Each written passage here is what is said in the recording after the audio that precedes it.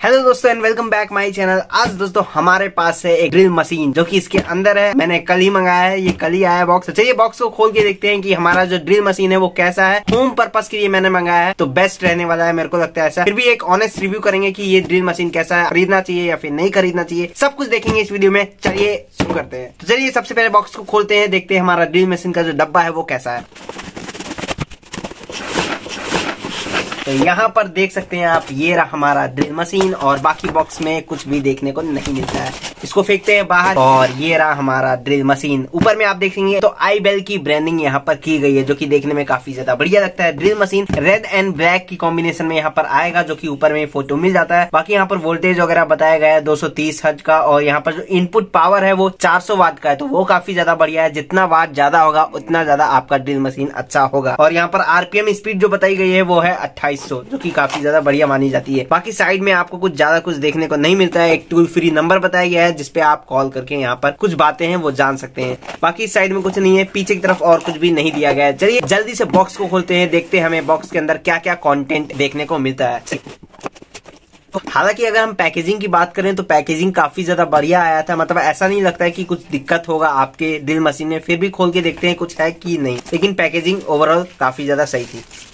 तो सबसे पहले हमें मिलता है एक बिल, जिसमें अमाउंट बताया गया है, जो कि मैं आपको वीडियो के आगे में बताऊँगा। अभी इसकी कोई ज़रूरत नहीं है, इसको साइड करते हैं। बाकी दोस्तों, आपको यहाँ पर एक मैनुअल गाइड देखने को मिल जाता है, जिसको आप चाहें तो पढ़ सकते हैं। मैं कहूँगा आप पढ़ ही लीजिएगा, क्योंकि ये कुछ ऑपरेटिंग वाली चीज़ है तो आप चाहे तो पढ़ सकते हैं। बाकी मैं तो नहीं पढ़ूँगा, मैं इसको साइड करता हूँ। बाकी दोस्तों, आपको यहाँ पर एक वारंटी कार्ड भी देखने को मिल जाती है, जिसमें आपको छह मंथ की वारंटी मिल जाती है। यहाँ पर आप प्रोडक्ट का सीरियल नंबर वगैरह देख सकते हैं। अगर हम मॉडल की बात करें तो E D zero six nine one हमारे पास मॉडल नंबर है। बिना रजिस्टर किए हुए आपकी वारंटी जो है वो नहीं मानी जाएगी। तो आप सबसे पहले यहाँ पर रजिस्टर ज़रूर कर लीजिएगा। इसकी वेबसाइट यहाँ पर लिखा हुआ देखने को मिल जाता है सर। बाकी दोस्तों, हमें यहाँ पर कुछ बिट्स देखने को मिल जाती है, जो की मैं आपको आगे ज़रूर इसके बारे में बताऊँगा और अच्छी तरीके से करके भी बताऊँगा।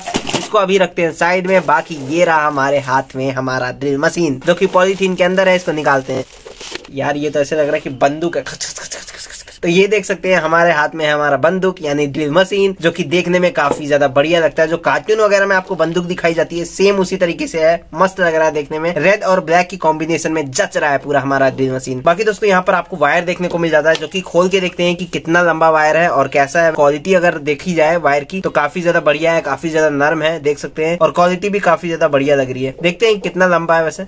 तो यहाँ पर आप देख सकते हैं, वायर का जो लेंथ है वो काफ़ी ज़्यादा बढ़िया है मतलब एक डेढ़ मीटर से ज़्यादा ही लंबा आप मान सकते हैं इसको। तो हाँ वायर की क्वालिटी भी अच्छा है और लंबा भी अच्छा खासा है। तो इसमें आपको परेशानी नहीं होगी। और बाकी ये जो प्लग है, इसकी भी क्वालिटी काफ़ी ज़्यादा बढ़िया है। अच्छा वाला यहाँ पर प्लग आपको देखने को मिल जाता है, जो की हर एक बोर्ड में सेट हो जाएगा, कोई दिक्कत नहीं है। बाकी अब आते हैं हमारे ड्रिल मशीन के ऊपर। ड्रिल मशीन का अगर हम वेट के बारे में बात करें तो लगभग लगभग डेढ़ के से ज़्यादा इसका वेट होगा। बहुत ही प्रीमियम फील देता है। मतलब कलर वाइज देखें तो काफ़ी ज़्यादा अच्छा लगता है और उठाने में भी आपको काफ़ी ज़्यादा प्रीमियम फील होगा। बाकी दोस्तों, अगर हम सबसे पहले ड्रिल मशीन की बात करें तो ऊपर में आपको एक बैलेंस इंडिकेटर देखने को मिल जाता है, जो कि आपको यहाँ पर बैलेंस करके बताएगा कि आपका जो ड्रिल मशीन है, वो ड्रिल कहाँ सीधा कर रहा है या फिर ज़्यादा तिरछा जा रहा है। तो सब चीज़ आपको ये इंडिकेटर से पता चल जाएगा। अगर ये बीच में है, तब सोचिएगा आपका जो ड्रिल है, वो बीचों बीच हो रहा है। और बाकी दोस्तों, अगर हम यहाँ पर कंट्रोल बटन की बात करें तो यहाँ पर सबसे पहले आपको एक बटन एक्सीलेशन देखने को मिल जाता है, जिससे आप अपनी जो स्पीड है, वो यहाँ पर तेज और कम कर सकते हैं। अगर आप तेज करना हो तो इसको बढ़ा दीजिएगा। अगर कम करना हो तो इसको कम कर सकते हैं। बाकी दोस्तों, यहाँ पर आपको एक लीवर देखने को मिल जाता है, जिससे आप यहाँ पर जो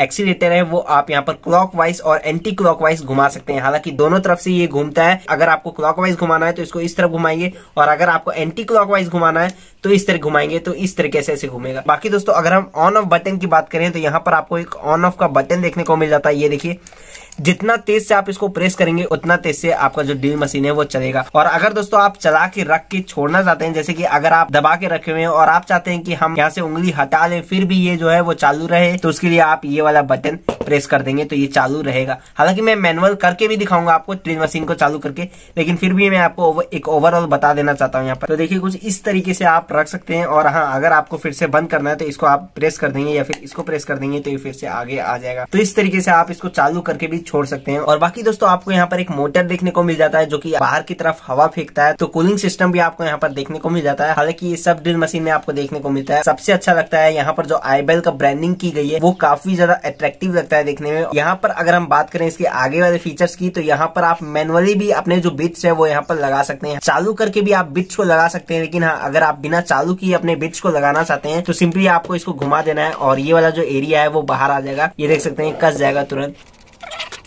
ये देख सकते हैं, इस तरीके से आप जो बिट है वो अपना मैनुअली भी लगा सकते हैं, नहीं तो चाहे तो आप चालू करके भी अपने जो बिट्स है वो यहाँ पर लगा सकते हैं। यहाँ पर जो आपको स्टील देखने को मिलता है, ये भी काफ़ी ज़्यादा बढ़िया लगा है मेरे को, काफ़ी अच्छी क्वालिटी का देखने को मिल जाता है। अब दोस्तों, हमारे पास है ये बिट अब बिट को निकाल के दिखाते हैं कि कौन कौन से बिट आपको यहाँ पर देखने को मिलते हैं और कौन कौन से नहीं है, जो कि आपको बाज़ार से खरीदने पड़ेंगे। ये देख सकते हैं, ये सारे बिट्स हमें देखने को मिल जाते हैं। ये देखिए, ये सारे चीज़ हमें देखने को मिलते हैं। तो सबसे पहले तो हमें मिल जाता है यहाँ पर एक नॉब जो की कसने का काम आएगा।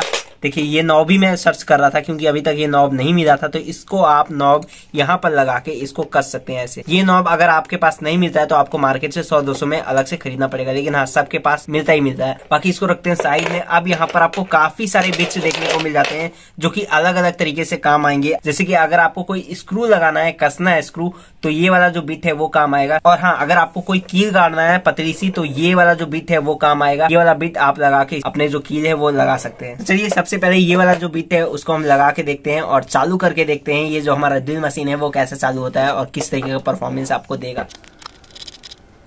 हमारा जो बिट है, वो यहाँ पर अच्छी तरीके से टाइट हो गया, पूरी तरीके से घूमना चालू कर गया और इससे भी कस देते हैं थोड़ा एक बार, ताकि अच्छी तरीके से लग जाए। और आप चलिए अपने ड्रिल मशीन को हम करते हैं चालू, और गन जो है, वो चालू करके घुसाना शुरू कर देते हैं। हमने यहाँ पर एक बोर्ड मंगा लिया है, और इस प्लग को हम लगाते हैं स्विच में, अपने मशीन गन को चालू करते हैं, और कहीं पर भी छेद करना शुरू करते हैं। मज़ाक करें, एक लकड़ी का टुकड़ा है, उसमें हम छेद करेंगे। तो सबसे पहले तो मैं आपको ड्रिल मशीन को चला के दिखाता हूँ, किस तरीके से चलता है। मैं बटन को धीरे से प्रेस कर रहा हूँ तो ये धीरे से चल रहा है, ये देखिए। और अगर मैं और तेज से इसको प्रेस करूँगा तो और तेज तो अभी दोस्तों, हमारे पास एक लकड़ी का टुकड़ा और ये रहा हमारा ड्रिल मशीन और लीवर को आप देख सकते हैं, मैंने किस तरफ़ करके रखा हुआ है। इस तरफ़ लीवर का रखा है, क्लॉकवाइज, और फिर उसके बाद हम लोग छेद करते हैं इसमें। चलिए।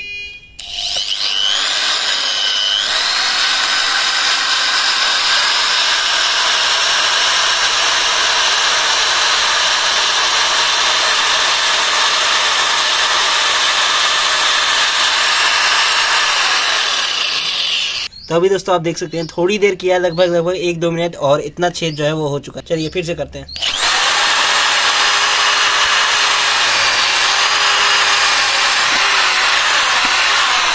पूरा आर पार यहाँ पर हो चुका है। ये देखिए, पूरा आर पार हो चुका है। तो मतलब एक ही मिनट, दो मिनट लगा और पूरी अच्छी तरीके से छेद हो गया। ये रहा पावर इस ड्रिल मशीन का।